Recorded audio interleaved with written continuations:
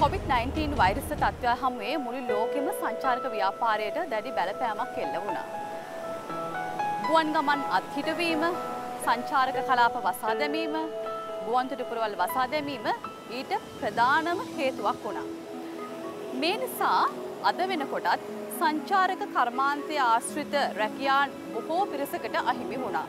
කොහොමුණත් ලෝකය මෙවෙද්දි කෙමින් කෙමින් යථතත්වයට පත්වෙමින් යන පසුබිමක අපේ රටට විදේශ විනිමය ගෙනේන ප්‍රධානම මාර්ගයක් වන සංචාරක ව්‍යාපාරය යළි නගා සිටුවන්නේ කොහොමද කියන කාරණාව ගැන අපි අද දවසේදී කතා කරන්න හිතුවා. විශේෂයෙන්ම සංචාරකෙන් එක්ක වැඩි වශයෙන් ගැවසෙන පුද්ගලයන් තමයි අපි අද දවසේදී ඔවුන් එක තමයි මේ ගැන කතා බහ කරන්නට හෙදුවේ. විශේෂයෙන්ම ඔබට මතක් කරන්නට ඕන ඔබට මතකයි පසුගිය කාල වකමානුවේදී අපේ රටට පැමිණිච්ච සංචාරකයින්ට අපි හොඳ ආගන්තුක සත්කාර පුරුදු කළා. ඒ වගේම ඔවුන් අපේ ආගන්තුක සත්කාර ගැන මුළු ලෝකෙටම කතා කළා. අපි ඒ ගැනත් කතා කරනවා. මේ කතිකාවතට අපි අද දවසේදී එකතු කරගන්නේ සංචාරකයන් එක්ක වැඩිපුරම ඉන්න පිරිසක්. ඉතින් ශ්‍රී ලංකා ජාතික සංචාරක මාර්ග උපදේශක කතිකාචාර්ය ආයතනයේ සභාපති මහේෂ් ප්‍රියදර්ශන මහත්මයා එනවා අයිබෝවන්. මහේෂ් මහත්මයා කතාව ආරම්භ කරන්නටත් මුලින් මට හිතුණා මෙන්න මෙහෙම කතාවක් අහන්න. දැන් පහුගිය කාලේ අපිට මතකයි කොවිඩ් එක්ක අපේ රටේ පළවෙනි ආසාදිතයා හම්බුනේ සංචාරක මඟ පෙන්වන්නෙක්. හැම කෙනෙක්ම කලබලයට පත් වුණා. වපරැහින් බලන්නට හැදුවා මේ සංචාරක මාර්ග උපදේශයෙන් එන්න පුළුවන් නේද? කොවිඩ් මේක ටිකක් බයයි නේද? මෙන්න මේ වගේ චකිතයක් අපේ ජනතාව අතර තිබුණා. ඔබත් සංචාරක මාර්ගෝපදේශකෙක් ඔබට කොහොමද ඒ හැඟීම දැනුනේ? ඔබගේ අනෙකුත් සහෝදර වෘතිය යෙදලා ඉන්න පිරිසට කොහොමද දැනුනේ? අපි එතනින් කතාව ආරම්භ කරමු. ස්තුතියි. ඇත්තටම බොහොම හොඳ අවතීර්ණ වීමක්. දැන් සංචාරක මාර්ගෝපදේශකයන් රෝගවාහකයෝ නෙමෙයි.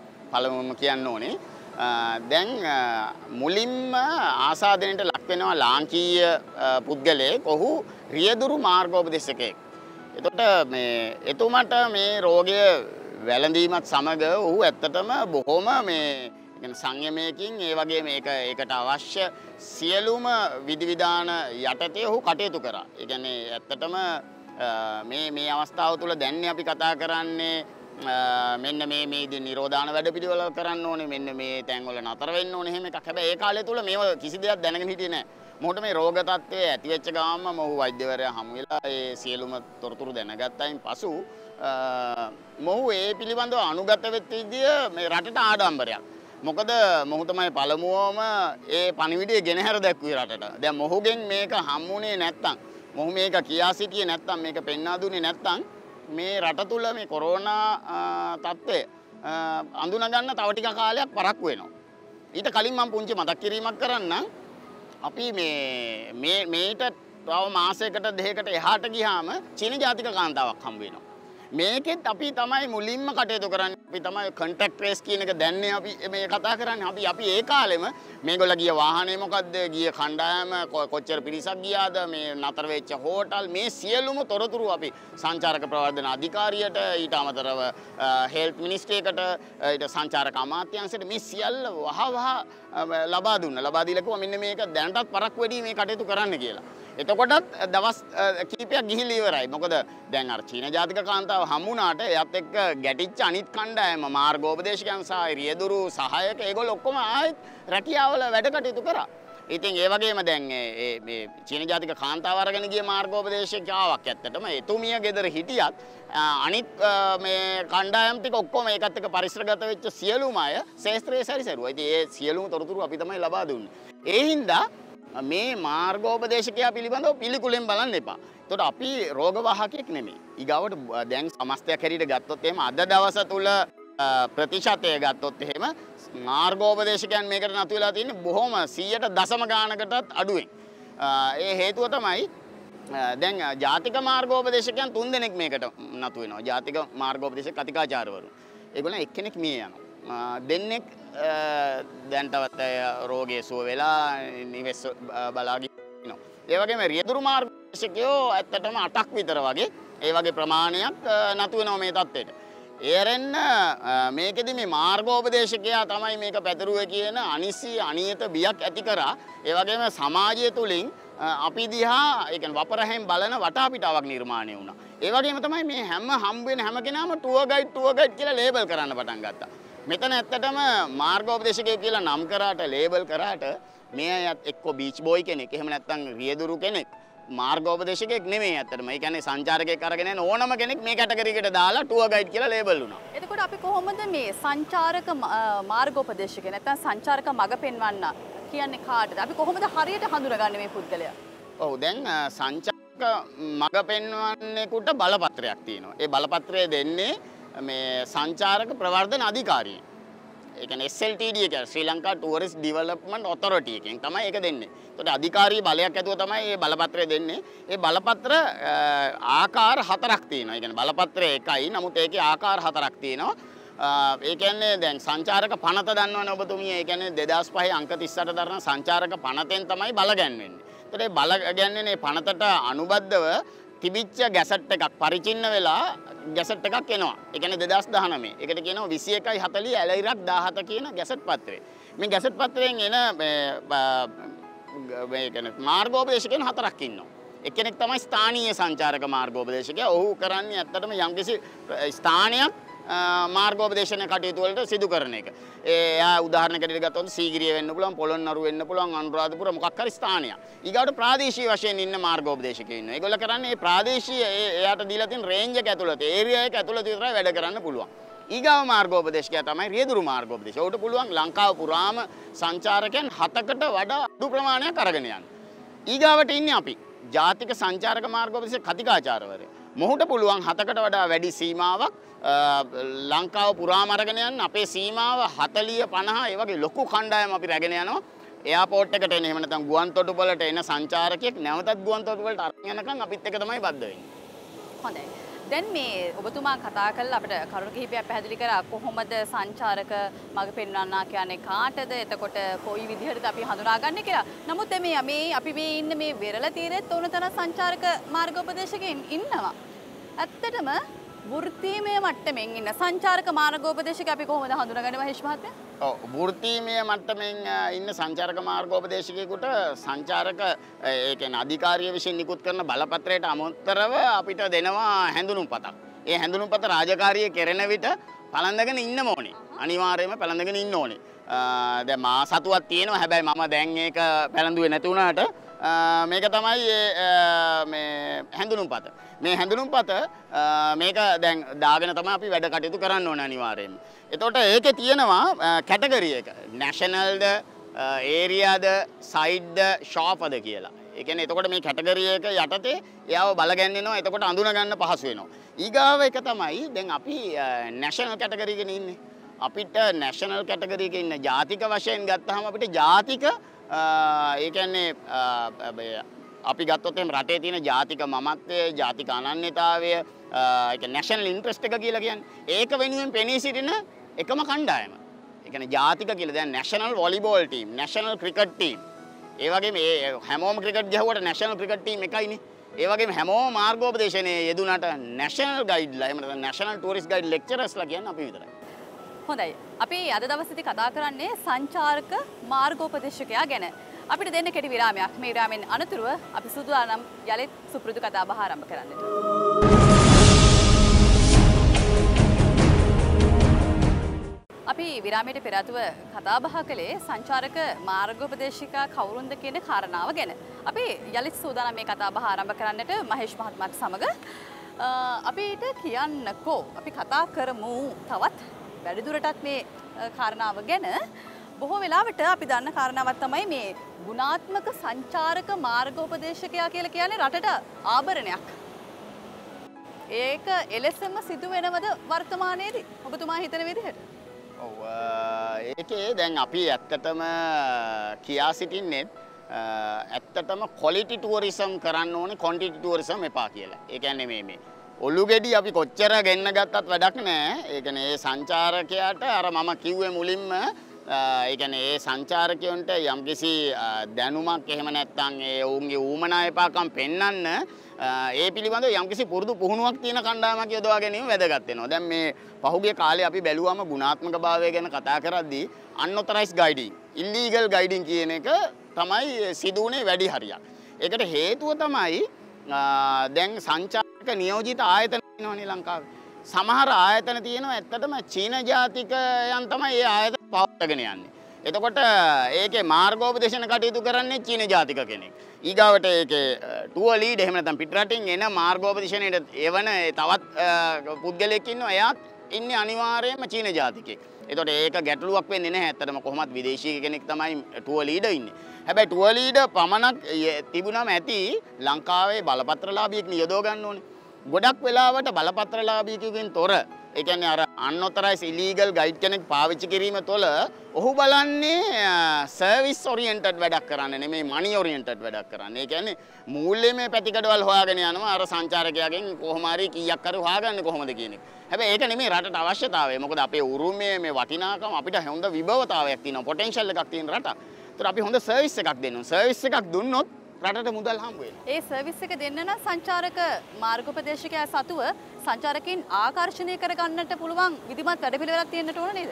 අනිවාර්යයෙන්ම. ඒකට තමයි දැන් අපේ සංචාරක මාර්ගෝපදේශක කතිකාචාර්යවරුන් ඉන්නෝ විවිධ වූ භාෂාවන් කතා කරන. චීන භාෂාව වෙන්න පුළුවන්, ප්‍රංශ වෙන්න පුළුවන්, ඉතාලි වෙන්න පුළුවන්. සියලුම භාෂාවන් ජර්මානු ඒ වගේ හැම භාෂාවක්ම කතා කරන්න පුළුවන් අය ඉන්නවා. එතකොට එකක් තමයි භාෂා ප්‍රාගුණ්‍ය වැදගත් වෙනවා. ඊගවට කුසලතාවය. ඒකන දැන් සංචාරකයට බයිසිකලයක් පදින්න ඕන්නම් බයිසිකලයක් පදින්න දන්න ඇති මේ සංචාරණ කටයුත්තක් කරන්න පුළුවන් මාර්ගෝපදේශකෙක් නියලිලා වැඩක් නැහැ. එතකොට ඒ සංචාරකයට අවශ්‍ය පැතිකඩ ආවරණය වෙන පරිදි සියලුම කුසලතා වලින් ප්‍රාගුණ්‍යයක් තියෙන. ඒ කියන්නේ බර්ඩ් වොචින් අයට එනවා ට්‍රෙකින් ඇන් හයිකින් එනවා. ඊගාවට සංස්කෘතික නැරඹුම් ඒවා එවැනි ස්ථාන බලන්න යනවා. ආකියොලොජිකල් සයිට්ස් කියලා අපි කියන්නේ. ඒ වගේ බීච් ස්ටේ එකක් වෙන්න පුළුවන්. මොනවා හරි ඒ කරන සංචාරකයට අවශ්‍ය සියලුම දැනුමින් පරිපූර්ණ ඒ පුද්ගලයා ඉතාමත් වටිනවා. මොකද එයාට දැනුම යාවත් කාලින වෙන්න ඕනේ. හැමතිස්සෙම දැනුම නිරන්තරයෙන් අලුත් කරගෙන ඉන්න ඕනේ. එහෙම නැතුව දැන් ගොඩාක් වෙලාවට වෙන්නේ දැනුම අලුත් කරගන්නේ නැහැ. මොකද එයා බලාපොරොත්තු වෙලා ඉන්නේ සංචාරකයා ආපු වෙලේ ඉඳලා මුදල් කීයක් කරවා ගන්න කොහොමද කියන එක. නොතන තමයි ගැටලුව ඇත්තට හැබැයි දැන් මුදල් ගැනත් කතා කරන්නේ. ඒ නිසා දැන් අපි මේ ඉන්නේ සුන්දර වෙරළ තීරයක. ඒ නිසා මේ ප්‍රශ්නය අහන්නම වෙනව ඔබතුමාගෙන් මට. දැන් මේ ගොඩක් වෙලාවට සංචාරකින් කරන චෝදනාවක් තමයි ඇතම් සංචාරකයින්. දැන් මේ වගේ වෙරළ තීරයකට ආවට පස්සේ අපෙන් වැඩි මිලට භාණ්ඩ වලට වැඩි මිලක් ඉල්ලනවා. එතකොට අපේ ඉන්න ටුවරිස් ගයිඩ් නැත්නම් සංචාරක මඟ පෙන්වන්න ඔවුන් සමග එකතු වෙලා අපෙන් වැඩි අය කිරීම කරනවා. මෙන්න මේ වගේ විවිධ මත අපිට අහන්නට ලැබිලා තියෙනවා. විශේෂයෙන්ම මේ වෙරළ තීරවලදී. ඔබ මේක ඔබේ පිරිසගේ අතින් වෙන්නේ නැහැ කියලා. මෙහෙමයි. මාර්ගෝපදේශනයේ යෙදෙද්දී මාර්ගෝපදේශන කටයුතු කරද්දී යම්කිසි ඒකැන පාලන නියාමන ධර්මයක් තිබිය යුතුයි. ඒකන්නේ දැන් අප දැනගන්න ඕනේ සංචාරකයට යම්කිසි බාණ්ඩයක් අවශ්‍ය නම් ඒක මේකැන්නේ කොය වගේ තැනකට දෙයා යුදෝ ගන්න ඕනේ ගෙනියන්න ඕනේ මොකක්ද එයාගේ අවශ්‍යතාවය අනුව යාට මොකක්ද සිදු කරන්න ඕනේ කියන එක. හැබැයි මම මෙන්න මෙහෙම දෙයක් කියන්නම්කෝ. දැන් අපි උදාහරණයක් හැටියට ගමු සීගිරිය ටිකට් එක ඩොලර් 30යි. හැබැයි ලාංකිකයෙකුට එහෙම නැත්නම් ලාංකීය සංචාරකයෙකුට එහෙම නැත්නම් ලාංකිකයෙකුට ඩොලර් 30ක් අය කරන්නේ නැහනේ. එතකොට ඒ පරතරයක් තියෙනවා. ඒ මිල අතර පරතරයක් තියෙනවා. යම්කිසි භාණ්ඩයක දැන් කාට හරි කියන්න පුළුවන් දැන් අපි යුරෝපයේ ගියොත් ගත්තොත් යුරෝපීය රටවල් හැම එකකම භාණ්ඩවල යම්කිසි සේවාව සැලසීමේදී ඒකේ තියෙනවා ගුණාත්මක භාවයත් එක්කම වටිනාකමක් දීලා. දැන් මියුසියම් එකක් එහෙම නැත්නම් කෞතුකාගාරයක ටිකට් එක ඩොලර් 50න් උඩ යන්නේ. හැබැයි අපේ ලංකාවේ එච්චර ප්‍රමාණයක් අය කරන්නේ විදේශිකයෙකුට. හැබැයි කෙසේ වෙතත් යම්කිසි මිල පරතරයක් තියෙනවා. හැබැයි දැන් අපි බීච් එකේ ඉන්න කෙනෙක් එහෙම නැත්නම් ඔය ටවුට් කෙනෙක් බීච් බෝයි කෙනෙක් ඒ වගේ කෙනෙක් යොදවා ගැනීම මත අර පාලන මිලක් නැති නිසා එයාට එන ගණන් හිලව් කියන්න පුළුවන් ඒ වගේ ගැටලු සාගත තත්ත්වයක් නැති වෙලා තියෙනවා. හැබැයි අපි කියන්නේ නියම බලපත්‍රලාභී මාර්ගෝපදේශකයෙක් යොමු කරාට පස්සේ ඇත්තටම ඔහු අරගෙන යන්නේ රටේ බදු ගෙවන ඒ වගේම යම්කිසි රෙකග්නිෂන් එකක් තියෙන ආයතන වලට. එතකොට ඒකත් එක්ක ඒක ඇත්තටම ටුවරිස් බෝඩ් එක අපි කියන්නේ කියන්නේ සංචාරක ප්‍රවාදන අධිකාරිය තුළ ලියාපදිංචි වෙච්ච ආයතනයකට තමයි රැගෙන යන්නේ. එතකොට මේ හැබැයි මේක මම නොයනවාමයි කියන්නේ නෑ. ඒ කියන්නේ මේ මේ මේ මේ ගනුදෙනුවක් සිද්ධ වෙනවා. ඒ ගනුදෙනුවේ ඉහළ පහළ යමේ පරාසයක් තියෙනවා. ඒක මත තීන්දු තීරණයකට එන්ඩ බැහැ අපිට මේ සංචාරකයාව සූරාකෑමකට ලක්වෙනවා කියලා හැබැයි සූරාකෑමකට ලක්වෙනවා මෙන්න මේ ආකාරයකට. ඒ කියන්නේ බලපත්‍රලාභියෙක් නැතුව ඒ කියන්නේ සර්විස් එකක් දෙන්න බලාපොරොත්තු වෙන පුද්ගලයෙකුට එයාට ඕනේ සර්විස් එකක් නම් අපි එයාව කියන්නේ දැන් සංචාරකයා තුලින් අපිට අවශ්‍ය වෙලා තියෙන්නේ ඔහුගෙන් කීයක් හරි ලබා ගන්න නම් අන්න ඒ අරමුණේ සංචාරණ කටයුත්තක් පටන් ගත්තොත් අර සංචාරකයා ගෙදර යනකොට එයාගේ සාක්කුවත් හිස් කරලා ඒක රටට හොඳයි කියලා කිව්වට එකකින් වෙන්නේ ඔහු නැවතත් රටට එන එක නතර වෙන එක. ඉතින් ඒ නිසා අපිට තව කතා කරන්නට බොහෝ දේවල් තියෙනවා. අපි මේ විරාමයෙන් අනතුරුව යලිත් හමු. කොවිඩ් හමුවේ අපේ රටේ සිරවී සිටි සංචාරකින් බොහොමයක් මුළු ලෝකෙටම පණිවිඩයක් දුන්නා. ඒ තමයි ශ්‍රී ලංකාව කියන්නේ ආගන්තුක සත්කාර දන්න හොඳ රටක්. මේ රටේ සංචාරයකට එන්න කියලා කොවිඩ් ඉවර වුණාට පස්සේ මේ රටේ සිරවිලා සිටිපු බොහෝ සංචාරකයන් මුළු ලෝකයටම ඇරයුම් කළා. මහේෂ් මහත්මයා මේක හොඳ අවස්ථාවක් නේද? ඔව් දැන් ඇත්තටම මේ කොවිඩ් පටන් අරගෙන කර්ෆියු දැම්මා. ඒ කියන්නේ මේ කර්ෆියු දාපු ගමන්ම අපි ඒ කාලය තුලම කරපු වැඩ කටයුත්තක් තියෙනවා. මේ සංචාරක ශාස්ත්‍රයේ සියලුම අය එකතු වෙලා අපි මේ කියන්නේ 1912 කියන කෝල් සෙන්ටර් එක ඇරියා. එතකොට ඒකට වැඩ කටයුතු කරා විවිධ වූ ආයතන. ස්ලයිටෝ එක ඔවුන්ගේ ආරාධනයෙන් තමයි අපි ගියේ. ඊට පස්සේ ෂෝප ගයිඩ්ලා ඊට පස්සේ මේ ටූරිස්ට් ඩ්‍රයිවර්ස්ලා තව ස්ලස්පා එක ඒ වගේ විවිධ වූ ආයතන ගණනාවක් එක්කහු වෙලා අපේ ස්ලින්ජියල් එක මේ ඔක්කොම එක්කහු වෙලා අපි මේ පරිශ්‍රය කරගෙන යද්දී අපිට තේරුණා ඇත්තට මේකට වේදිකාව සැකසුවේ SLTD එක ටූරිසම් ප්‍රොමෝෂනල් බියුරෝ එක. ඉතින් ඒ ස්ථානය අපි පාවිච්චි කරලා අපි රටට පණිවිඩයක් ගෙන හැර දැක්වා රට තුළ හිටපු සියලුම සංචාරකයන්ට අවශ්‍ය ඒ හදිස්සි අවස්ථාවේදී අවශ්‍ය තොරතුරු ලබා දෙන්න තමයි අපි ඒ සෙන්ටර් එක කරගෙන ගියේ. ඒක ස්වේච්ඡාවෙන් තමයි අපි කරගෙන ගියේ. ඒතකොට මේ මේ පණිවිඩය ඔවුන් දැනගත් ඇත්තටම ඔවුන්ට ලොකු ආභරණයක් වුණා මේ මේ ඒ අවස්ථාව තුළ ඔවුන්ව බලා ගැනීම පිළිබඳ. ඊට පස්සෙත් අපේ කණ්ඩායම ඔවුන් වෙත ගිහිල්ලා ඒ වගේ දේවල් සිදු කිරීම තුළ ඔවුන් සොයා බැලීම තුළ ඔවුන් තේරුණා ඔවුන්ව මග හැරලා නැහැ කියලා. හරි. දැන් මේ වත්මන් රජය සංචාරක කර්මාන්තය කෙරෙහි විශාල අවධානයක් යොමු කළා තියෙනවා. ඒ අතරතුරේ සංචාරක මාර්ගෝපදේශකයන් විදිහට ඔබේ කාර්යභාරය මොකක්ද? ඔව් සංචාරක මාර්ගෝපදේශකයන් විදියට අපි ගත්තොත් එහෙම ඇත්තටම අපි ජාතික තලයේම ඉන්න මාර්ගෝපදේශකයන් හැටියට අපගේ කාර්යභාරය ගත්තොත් එහෙම දැන් මේ ඉදිරියේදී සංචාරකයා රට තුළට ඒමේදී අපි ඉස්සෙල්ලම් බලන්න ඕනේ මේ තියෙන තත්ත්වය යටතේ. අර මුලින් අපි කිව්වා වගේ මේ කොරෝනා ආසාදිත තත්ත්වය තාම රට තුළ තියෙනවා. මේක පහව ගිහිලා නැහැ නේ. ඒකත් එක්කමනේ අපි වැඩ කරන්න වෙන්නේ. හැබැයි අවදානම ගන්න අපි ලෑස්ති. ඒ අවදානම ගන්න අතරම අපිට අපිව ආවරණය කරන යම් යම් වැඩපිළිවෙල ටිකක් අපි දැන් කතා බහ කරමින් යනවා රාජ්‍ය පාර්ශ්වයෙන් සහ පෞද්ගලික අංශයත් එක්ක මොකද අපි යොදවගන්නේ සංචාරක ඒජන්තවරු නිසා. ඒ දේවල් ටික අපි සාකච්ඡා කරලා තියෙනවා. ඒවත් ලැබුණට පස්සේ මං හිතනවා අපි නැවතත් අපගේ රාජකාරියට හෙට දවසේ සිට සූදානමින් ඉන්නවා. මොකද හේතුව තමයි අපේ වෘත්තිය මේක. ඉතින් ඒ හින්දා අපේ සහෝදර සමාජිකයා බලාගෙන ඉන්නවා සංචාරකයෙක් රට තුළට නැවතත් පැමිණෙනකන් ඒ රාජකාරිය කරන්න. ඒතකොට ඒ රාජකාරිය තුල අපි බලාපොරොත්තු වෙනවා දැන් අර කේවල සංචරණය කියලා කියන නිෂ්මාකට් ප්‍රොඩක්ට්ස් මම හිතන්නේ ඉදිරියේදී එයි. මම හිතන්නේ අර කලින් කරපු විදිහට අපි රට පුරාම කරන වැඩපිළිවෙල් වෙනස් වෙයි.